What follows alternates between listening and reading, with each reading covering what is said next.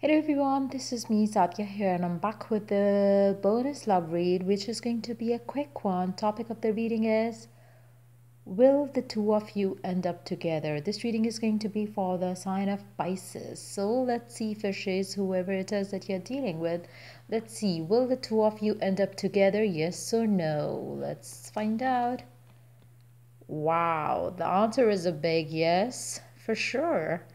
So, whoever it is that you had on your mind while asking that question, yes, you are going to end up with that person. Let's see the current feelings of your person right now for you.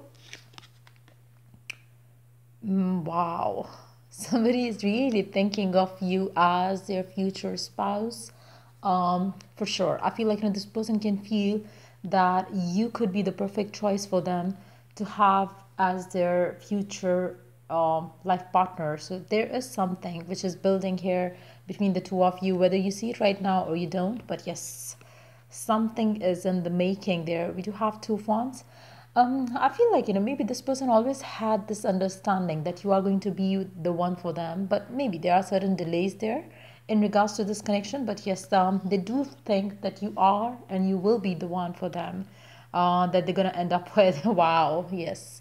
I feel like you know for some of you, you might have an ending uh, with this person before you have a new beginning with the same person because I feel like you know this person right now maybe in detachment or separation with you right now because I do see that they are thinking of you to be the one and at the same time it's something that they want to pursue in in in the future not now and they would want to come upfront about how they feel for you and that's how you are going to have a new beginning with this person so that's pretty much it for this read. Um, I hope it was of help. And if you did, do like, share, and subscribe till I do the next read for you guys. Take care and bye.